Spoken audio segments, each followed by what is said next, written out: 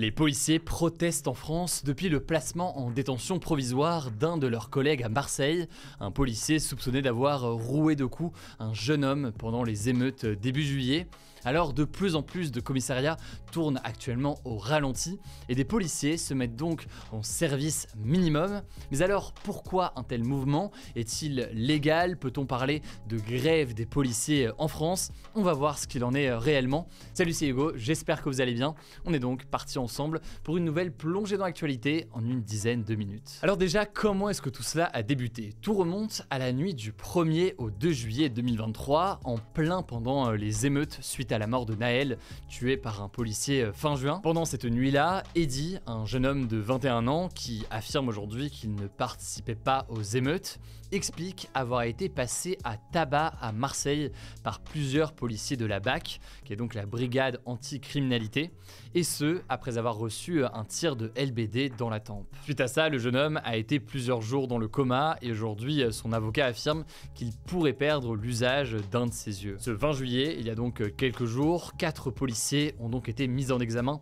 pour violence en réunion par personne dépositaire de l'autorité avec usage ou menace d'une arme. Et l'un de ces policiers a été placé en détention provisoire. Il est donc emprisonné le temps d'être jugé, ce qui a provoqué donc la colère de certains policiers qui estiment anormal qu'un policier soit derrière les barreaux avant euh, son procès. Ce mouvement de contestation a donc débuté à Marseille, il s'est rapidement étendu à d'autres villes comme Toulon, Avignon ou encore Nice et certains endroits en région euh, parisienne. Pour ces policiers donc, avant un éventuel procès, un policier n'a pas sa place en prison. Il faut noter que ça avait déjà été le cas il y a quelques semaines avec le policier qui avait tiré sur Naël et qui avait donc été placé en détention provisoire en attendant aujourd'hui son procès. Mais alors, est-ce qu'on peut dire que les policiers sont en grève? Eh bien, pas vraiment. En fait, les policiers n'ont pas le droit de faire grève et ce afin de toujours assurer en théorie la sécurité en France. Et donc, vu que les policiers n'ont pas le droit de faire grève, ils ont décidé d'apporter finalement le soutien et un soutien à leurs collègues autrement. Ça a pris la forme d'une cagnotte pour les familles des quatre policiers pour, je cite, compenser leur perte de salaire durant le temps de l'instruction. Cette cagnotte a permis de récolter plus de 40 000 euros et elle a finalement été momentanément fermée ce dimanche après des signalements. Et l'autre façon, et celle dont on entend beaucoup parler en ce moment, l'autre façon trouvée par les policiers de soutenir leurs collègues, c'est de se voir prescrire des arrêts maladie. En effet, selon Le Parisien, ces derniers jours, au moins 450 policiers auraient obtenu comme ça des arrêts maladie dans les Bouches du Rhône, qui est donc le département où on retrouve Marseille, et 400 arrêts concerneraient justement la ville de Marseille, souvent pour, je cite, des états d'anxiété chronique.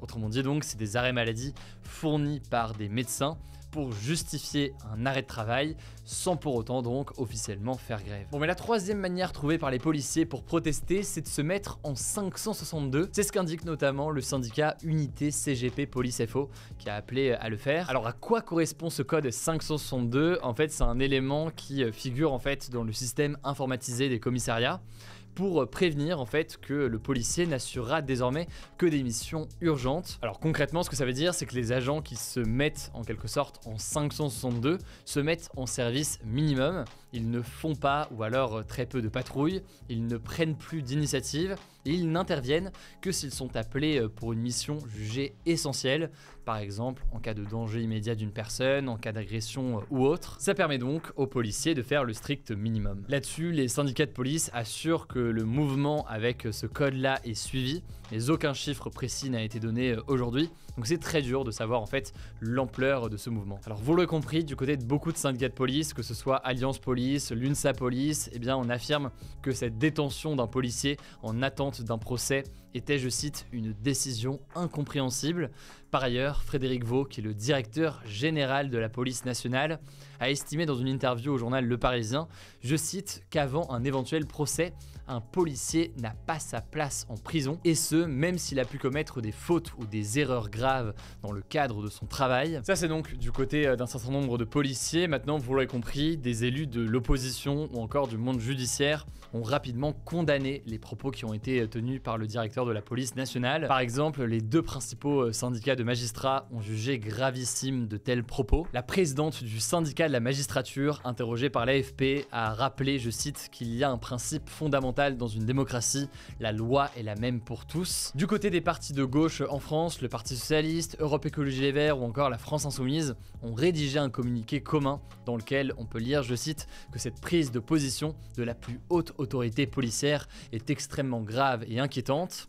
Enfin, du côté euh, du gouvernement, ou plutôt euh, de l'exécutif, dans une interview qui a été accordée euh, ce lundi à TF1 et France 2, Emmanuel Macron a réagi pour la première fois à la colère des policiers en disant comprendre leur émotion, mais il a aussi rappelé que, je cite, Nul en République n'est au-dessus de la loi. Bon, pour autant, selon LCI et TF1, l'entourage du ministre de l'Intérieur, Gérald Darmanin, a affirmé la confiance du ministre en Frédéric Vaux, qui est donc euh, le directeur de la police nationale. Du coup, évidemment, je vous tiens au courant de ce qu'il en est et si ce mouvement prend de l'ampleur. Je laisse la parole à Blanche et je reviens juste après. Merci Hugo et salut tout le monde. On commence avec une première actu. La Tunisie et l'Algérie font actuellement face à d'importantes canicules. À Tunis, la capitale de la Tunisie, la température est montée jusqu'à 49 degrés à l'ombre ce jeudi et les autorités algériennes s'attendent à des pics à 48 degrés dans le pays dans les prochains jours. D'ailleurs, en Algérie, au moins 34 personnes, dont 10 militaires, sont mortes dans de violents incendies qui ont commencé ce week-end qui sont toujours en cours. En fait, avec le réchauffement climatique, les canicules sont plus fréquentes et plus intenses et assèchent la végétation qui est du coup plus vulnérable et propice au départ de feu. Et vu qu'on parle de feu, en Grèce, un avion bombardier d'eau avec au moins deux personnes à son bord s'est écrasé ce mardi après-midi alors qu'il tentait d'éteindre un incendie de forêt dans le sud de l'île de B. Il s'agit d'un avion des pompiers grecs. D'ailleurs, selon une nouvelle étude du World Weather Attribution, les vagues de chaleur dans l'hémisphère nord auraient été presque impossibles sans le réchauffement climatique d'origine humaine. L'étude affirme aussi que ces vagues de chaleur ne sont plus rares, elles sont attendues en moyenne une fois tous les 15 ans en Amérique du Nord, une fois tous les 10 ans en Europe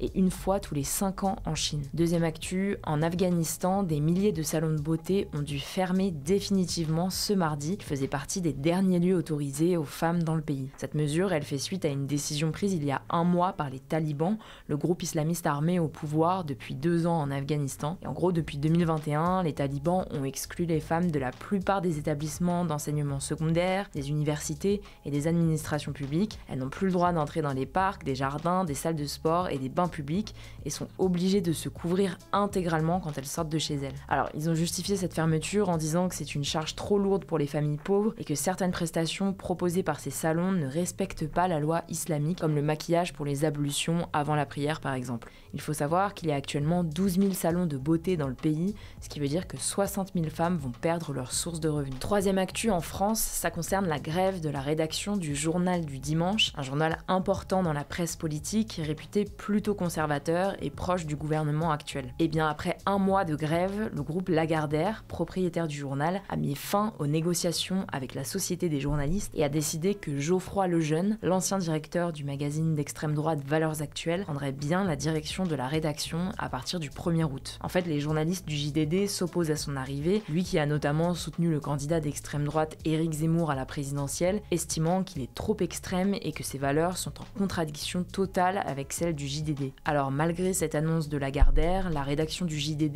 a voté ce mardi matin à 98% pour la reconduction du mouvement de grève et elle se prononcera ce mercredi sur la suite du mouvement. Quatrième actu, le panda géant Yuan Meng, qui appartient à la Chine mais qui vit dans le zoo de Beauval dans le Loir-et-Cher, va être rapatrié afin d'être présenté à une femelle pour se reproduire. En fait, Yuan Meng est né en France dans le cadre du programme international de diplomatie du panda mis en place par la Chine qui permet au pays de sceller ou d'améliorer ses relations diplomatiques avec d'autres pays. Plus de 22 zoos dans le monde ont un ou plusieurs pandas prêtés par la Chine et tous les ans, les zoos doivent payer une redevance annuelle d'un million d'euros pour chaque couple de pandas qu'ils possèdent. Alors il reste encore 4 pandas géants aux de Beauval, les parents de Yuan Meng, mais aussi ses sœurs, qui repartiront en Chine dans deux ans. Cinquième actu, Emmanuel Macron a estimé ce mardi, lors d'un déplacement en Nouvelle-Calédonie, que son ancien Premier ministre Édouard Philippe, l'actuel maire du Havre, pourrait, je cite, prendre le relais lors de la présidentielle de 2027. Alors, c'était pas une prise de parole préparée ni officielle,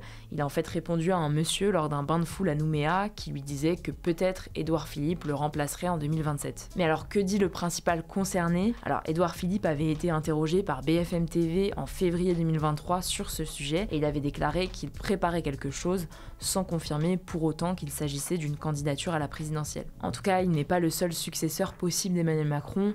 De Gérald Darmanin, Bruno Le Maire ou encore Jean Castex sont régulièrement cités. Sixième actu, le club de foot du Paris Saint-Germain a accepté une offre de transfert pour son joueur Kylian Mbappé, un club d'Arabie Saoudite, le club d'Al Hilal, pourrait offrir plus de 300 millions d'euros pour recruter l'attaquant parisien, ce qui en ferait le joueur le plus cher de l'histoire. Cette offre fait suite à la décision du PSG de ne pas convier Kylian Mbappé au stage de rentrée qui a lieu au Japon. Alors je vais pas tout vous détailler, mais en gros le PSG souhaite le vendre dès cet été pour éviter qu'il parte gratuitement l'année suivante. Plusieurs clubs se sont donc positionnés sur le joueur afin de le recruter, dont le club saoudien d'Al Hilal. Alors le transfert n'est pas du tout bouclé, Al Hilal doit désormais discuter avec Kylian Mbappé. Il propose au joueur un contrat de deux ans avec un salaire de 200 millions d'euros par an, d'après RMC Sport. On vous tiendra informé. Septième actu, depuis ce vendredi au Luxembourg, les habitants peuvent faire pousser légalement leur propre cannabis dans leur jardin pour leur consommation personnelle. Alors il y a quand même quelques conditions à respecter. Les résidents de plus de 18 ans sont autorisés à cultiver au maximum 4 plants de cannabis exclusivement à partir de semences et ne doivent pas être visibles depuis la voie publique. Le Luxembourg rejoint ainsi le Canada, l'Uruguay, le Mexique et 11 États américains qui ont décidé de dépénaliser la consommation de cannabis à usage récréatif. En Europe, seuls l'Espagne et les Pays-Bas autorisent la production à usage récréatif. Enfin, dernière actu, c'est une bonne nouvelle, la SNCF a mis de nouveau en vente ce mardi près de 40 000 billets de TER à 1 euro dans la région des Hauts-de-France pour des voyages entre le 1er et le 27 août. Il s'agit des billets qui n'avaient pas été vendus lors d'une opération similaire mise en place fin juin. Alors parmi les destinations concernées, Calais, Boulogne-sur-Mer, la baie de Somme,